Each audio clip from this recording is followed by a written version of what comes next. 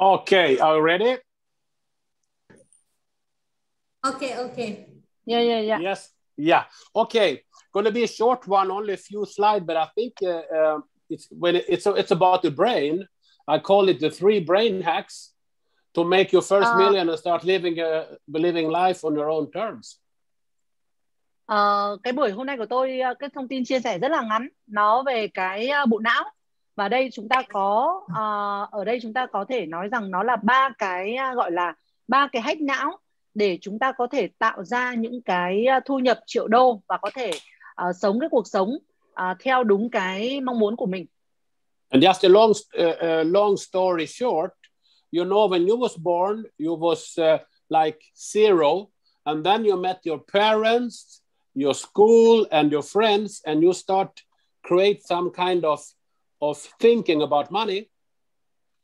À, và một cái câu chuyện mà trước khi bắt đầu cái phần này thì khi mà các bạn hãy tưởng tượng rằng khi mình sinh ra thì mình ờ, gần như rằng là mình mình rất là à, là là ngây thơ mình chưa có một cần một cái gì cả và sau khi đó chúng ta gặp à, bố mẹ của chúng ta chúng ta gặp bạn bè của chúng ta và khi chúng ta lớn lên thì chúng ta bắt đầu cần ờ, cái nhu cầu kiếm tiền đúng không ạ So your brain was formed how you uh, experienced everything about money when you grew up.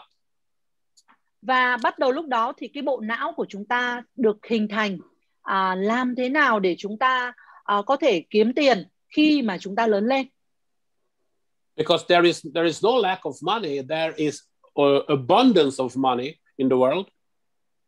à, và thực tế là không có cái ờ, cái có nghĩa là không cái nguồn tiền là nó không có hết đúng không ạ có rất là nhiều tiền trên trong trong cái thế giới này But perhaps, uh, probably they are not where you want them to be. à, nhưng mà có thể rằng là ờ, ờ, không không phải là đó là cái cái mà à, mình cái chỗ mà mình mình mình muốn là mình mình được ạ Because you want them in your pocket or at your bank account. À, bởi vì tại sao ạ? Bởi vì là chúng ta muốn hầu như chúng ta muốn là nó tiền nó phải ở trong túi của chúng ta, trong ví của chúng ta hoặc là trong tài khoản ngân hàng của chúng ta. So based on your experience on money, uh, if there is, uh, uh, if you haven't reached your goal, you need to hack your brain and start thinking differently. Và dựa trên cái mục tiêu về tiền, tiền bạc của chúng ta thì chúng ta có những cái mục tiêu ờ, mục tiêu để làm sao chúng ta gọi là hack não ạ, để mà chúng ta có thể có những cái mục tiêu đúng về phần tiền, tài chính. So what is your financial goals? Do you know that? Ờ, các bạn có biết mục tiêu về tài chính của mình là gì không ạ? Đã bao giờ các bạn à, đặt ra cái câu hỏi này chưa ạ? Would you like to get out of debt? Các bạn có muốn là trả hết nợ không ạ? Will, will you pay off your house? À, khi mà chúng ta thanh toán hết cái tiền mua nhà, Would you need an extra income? À, các bạn có muốn những cái nguồn ờ, thu nhập bổ sung không ạ? Would you like to plan for retirement? À, các bạn có ờ, kế hoạch về cái việc về hưu của mình không? Do, do, do you have plan for this? Các bạn đã có kế hoạch cho những cái này chưa ạ? That, that's good question. So the thing are that you need to ask yourself, are you interested in achieving your financial goals or are you committed to achieving them? Và đây là một cái câu hỏi mà các bạn cần phải hỏi bản thân mình rằng là các bạn có quan tâm đến cái việc mà đạt cái mục tiêu các cái mục tiêu về tài chính của mình hay không? Hay là các bạn cam kết để đạt được nó? Tức là các bạn có quan tâm để đạt được nó không? Và các bạn hay là các bạn cam kết để đạt được nó? This is a very strong question. và đây là một cái câu hỏi rất là rất là là là, là mạnh mẽ You see, uh, when we talked about plans, 95% of the people are not planning anything. và các bạn có đồng ý là khi các bạn nói về việc ờ, lập kế hoạch thì khoảng 95% số người các bạn hỏi họ không hề có một cái cái cái lập kế hoạch gì So if you ask this question, I can see the most people are interested into achieving. They are not committed. Và khi mình đặt câu hỏi này thì hầu như là những người mà chúng ta hỏi thì họ chỉ quan tâm đến cái việc mà đạt được mục tiêu về tài chính thôi chứ họ không cam kết để đạt được nó Because if you are interested then you will do everything sporadic, not systematic. Bởi vì khi các bạn quan tâm thì các bạn sẽ làm theo kiểu là ngẫu hứng chứ không theo kiểu là có một cách hệ thống. And we know the most people do it sporadic. Và hầu như tôi gặp những người mọi người thì tôi thấy là mọi người làm theo kiểu ngẫu hứng thôi. Because that we can see on the numbers.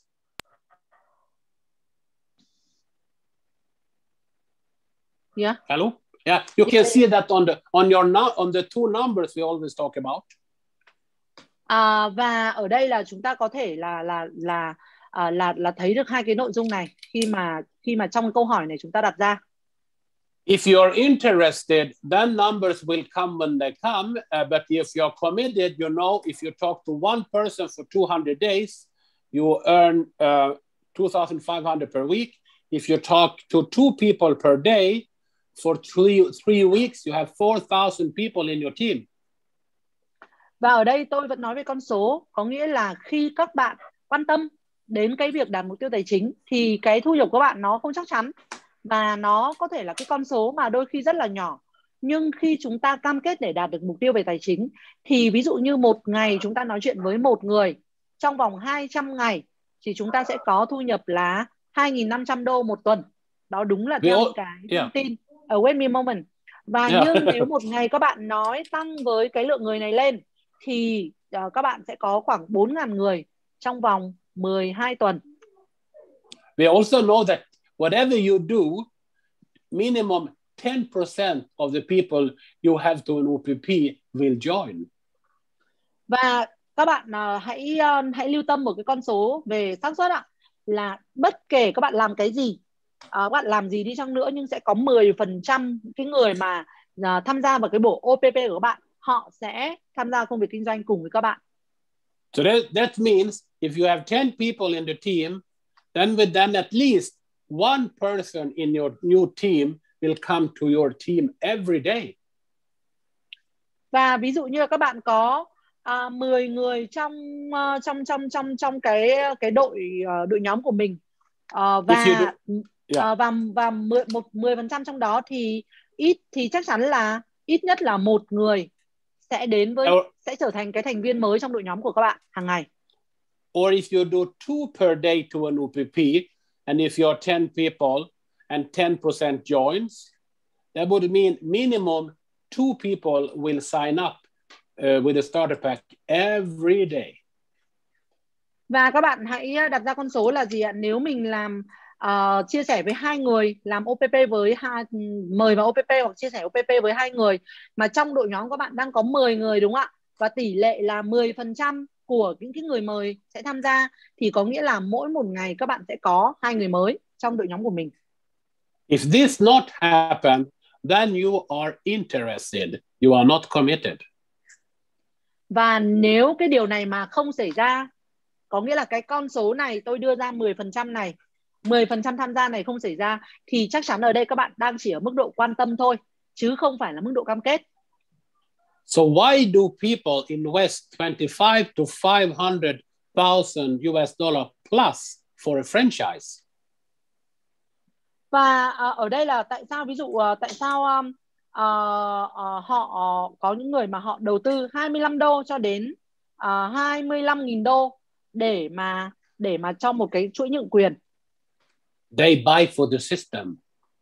Ở đây là gì ạ? Họ mua hệ thống They don't waste any time to find to figure out the new McDonald's. bởi và họ không có họ không có thời gian để ờ, để ừm, tìm hay là hay là để nhận diện những cái gì ví dụ như uh, McDonald That's why they pay for the system and they pay for the brand. À, và chính vì thế họ trả họ trả tiền cái tiền đó ấy, tiền đầu tư họ trả ra ấy, đó là cho hệ thống và cho cho cho cho cái thương hiệu And when people are investing 500,000 in a, in a franchise, they will they will teach and do the manual and the system every day. và nếu mà những người mà họ đầu tư là 500.000 đô cho một cái một cái, cái một cái nhượng quyền thì có nghĩa rằng là cái cái cái hệ thống này nó sẽ làm việc cho họ hàng ngày So the question are, in companies like Chiari, you invest 1,000 only. Why are we not doing and following the system every day there?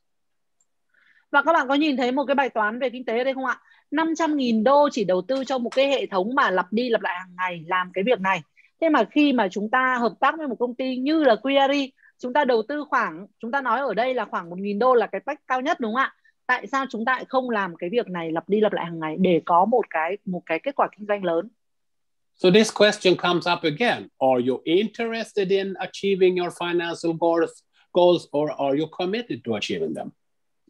và câu hỏi này lại xuất hiện trở lại rằng là bạn đang quan tâm đến cái mục tiêu tài chính hay là bạn cam kết để thực hiện nó This is what people pay hundreds of thousand dollars for. Và các bạn có thể nhìn thấy cái sơ đồ này đây nó là một trong những cái mà người ta đang trả hàng trăm nghìn Ê. đô la để để mua nó And you have the same in your business. và chúng ta có cái điều tương tự với công việc kinh doanh của chúng ta But you didn't need to pay hundreds of thousands of dollars for it. nhưng mà chúng ta hoàn toàn làm sao ạ chúng ta không hề phải trả hàng trăm nghìn đô để có được cái hệ thống này It was for free. và bởi vì tại sao hệ thống này nó miễn phí nó hoàn toàn là miễn phí So, so this is the kind. This is McDonald's f- franchise we see here. It's the same like we. Step one, two, and three. và đây nó là cái ờ, cái cái mô hình và cái quy trình Ờ, ví dụ như là của cái chuỗi nhượng quyền uh, McDonald chẳng hạn thì chúng ta có của chúng ta cũng hề cũng tương tự như vậy nó cũng là các bước từ 1 2 3 4 Then they have two goals, one and two. và họ có mục tiêu hai mục tiêu là số 1 và số 2 The biggest goal for McDonald's are we would like to feel good. và cái mục tiêu lớn nhất của McDonald là gì ạ là chúng ta chúng tôi muốn cảm thấy cảm thấy là, thật là tốt cảm thấy thật là vui And the second goal is to uh, achieving their financial goal, financial goals. và cái mục tiêu thứ hai của họ là mục tiêu ờ, đạt về tài chính So ask yourself this question too: How much planning would you do? Và các bạn hãy hỏi cái câu hỏi này với bản thân mình. À, cái việc lập kế hoạch cái việc đặt ra kế hoạch à, các bạn muốn là đến mức độ nào? Because you also know heard it before not to plan is also a way to plan but that's a plan for failure not not no. can Not- you can you repeat and uh, yeah yeah not to plan is also a plan Ừ. À ok. Tức là à, chúng ta có một cái câu nói rằng là gì ạ? À, không à, không lập kế hoạch cũng là một kế hoạch và đó là kế hoạch của những người thất bại. but that's a plan for failure Yeah. Yeah, I I, I translated yeah, okay okay Yeah, yeah. how would you handle setbacks À, và mình à, giải quyết những cái à, gọi là những cái những cái, những cái vấn đề à, phía sau như thế nào? most people in the world when they get the setbacks they will quit mà hầu như tất cả những cái con con người xu hướng chung à, trên thế giới mà khi họ có gặp các cái vấn đề họ sẽ họ sẽ họ sẽ muốn họ sẽ họ sẽ tức là họ sẽ dừng họ sẽ thoát We talked about this before. The the top performance people, they see a setback, a chance to come back. à, bởi vì à, cái điều này ở các buổi trước tôi chúng ta cũng đã từng chia sẻ với nhau rồi là những người có cái chỉ số hành động cao thì khi họ gặp chướng ngại vật họ gặp khó khăn họ gặp cản trở thì đó lại là cái cách để họ họ họ là họ vượt qua They see an opportunity in every problem. họ luôn luôn nhìn thấy những cái cơ hội trong tất cả mọi vấn đề And they set small plans for the problem for the opportunity in the problem, and then they do a comeback. và làm và họ, họ sẽ làm gì ở đây ạ? Họ sẽ đặt ra những cái kế hoạch để à, để để có để để tạo ra những cơ hội trong những vấn đề. Và lúc đó thay vì là họ họ thoát thì họ lại lại trở lại với cái những những cái trạng thái rất là tốt. So next time, I'm gonna gonna teach you how to write your new Hollywood script, money story, and and the million dollar identity. và à, cái buổi sau tôi sẽ hướng dẫn các bạn làm thế nào để viết những cái đoạn ở đây có thể nói gọi gọi là đoạn hội thoại hay như trong phim Hollywood mà tạo ra tiền và và và tạo ra rất là nhiều tiền. That script you're gonna you're gonna say to yourself every day for 30 days. Và những cái đoạn hội thoại này khi mà tôi uh, tôi hướng dẫn các bạn, các bạn có thể uh, nói với chính bản thân mình uh, trong vòng 30 ngày. So we can say an example if you would like to earn uh, uh, $100,000 per year. À, ví dụ chúng ta đặt ra một cái ngữ cảnh như thế này, mình uh, nói rằng là bạn có muốn uh, tạo ra một cái thu nhập là 100.000 đô một năm không? There's no problem, the money is there. À, và điều này không không không vấn đề gì, tiền thì ở đó. There is no limit for the money. There are so much money you you can't spend. Và không không giới hạn gì về tiền hết, có rất là nhiều tiền mà các bạn có thể dùng. But your mind is not there yet. Your identity is not there yet. This is what you was was born up. Maybe it's only Và- for 20,000 per year. Và nhưng mà thực tế là gì ạ? Là cái tâm trí các bạn chưa ở đó, những cái hành động các bạn à, chưa tập trung để hướng đến nó. Cho nên chính vì vậy là cái thu nhập các bạn có thể là nó sẽ chỉ là 20.000 đô, 20.000 đô một tháng thôi, à một năm thôi chứ không phải là 100.000 đô. Perhaps when you was kid, you saw your parents have have a fight about money. Ví dụ như khi các bạn là còn còn còn bé đúng không ạ? Ờ, các bạn chắc cũng có thể có những người đã từng đã từng chứng kiến cảnh bố mẹ ờ, cãi nhau vì tiền, There were never enough money. bởi vì là tiền không bao giờ là đủ cả. You will form your mindset in uh, to, to the same. và khi đó thì cái à, cái cái tâm trí của bạn cũng sẽ được hình thành ở trong đúng cái hoàn cảnh như vậy và nó sẽ nó sẽ được hình thành được nuôi nuôi lớn lên theo như vậy You also heard money is the root to all evil. à, và à, bạn cũng à, bạn cũng cũng nghe rằng là gì ạ là tiền nó nó là cái cái khởi nguồn của rất là nhiều những cái vấn đề anh nói rằng là giống như là những cái ờ, những cái những cái tội ác hoặc là những cái vấn đề nó không không hay ạ Not true. nhưng mà thực ra điều này không đúng đâu ạ It's the love to money who is the so go, go to all evil. À, đó là gì ạ?